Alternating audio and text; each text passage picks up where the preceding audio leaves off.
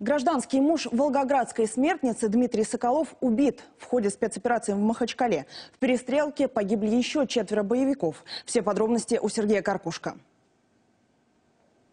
Контртеррористическая операция в пригороде Махачкалы Семендер началась в ночь на субботу. Квартал с домом, где укрывались боевики, окружили. Жителей ближайших домов эвакуировали. Дмитрию Соколову предлагали сдаться, организовали телефонный разговор с матерью. Но все попытки договориться оказались безрезультатными. Когда спецназ приблизился к укрытию боевиков, те открыли огонь.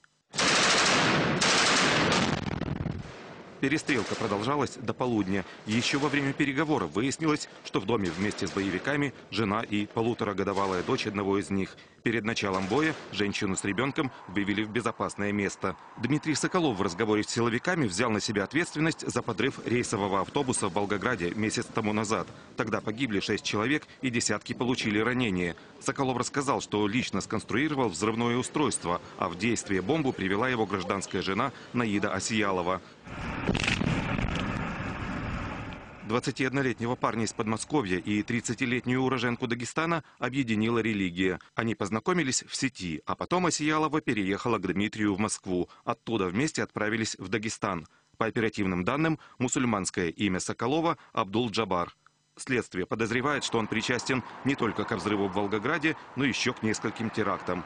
Сергей Каркушка, подробности, телеканал «Интер».